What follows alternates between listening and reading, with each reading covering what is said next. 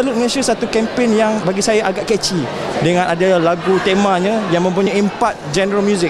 Kita ada rock daripada message, kita ada R&B, kita ada uh, rap, hip hop dan juga nasyid. Dan selawat elemen selawat tu ada. Itu merupakan identiti kita. Walau apa sekalipun kita buat, kita akan utamakan agama Islam dan juga baginda Rasulullah SAW.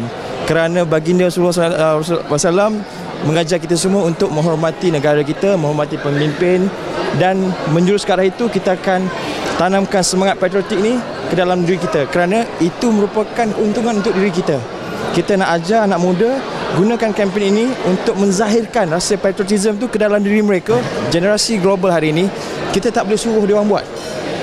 Kita tak boleh arahkan dia. Eh, mai sini kan, tolong ambil ni. Kita tak boleh mengarahkan dia. Kita kena bersama mereka. Kenapa saya cakap bersama mereka? cara kita bersama mereka kita bagi dia undi you nak seluruh Malaysia ke nak tabib Malaysia kan kita tahu dari segi bahasa penggunaan bahasa semua tapi kita tahu yang penting matlamatnya yang penting maksudnya yang penting objektifnya Alhamdulillah sudah lebih dari seribu penyertaan dan mungkin selepas dengan bantuan media-media dan uh, pada pelancaran hari ini dengan adanya kempen uh, akan meluas lagi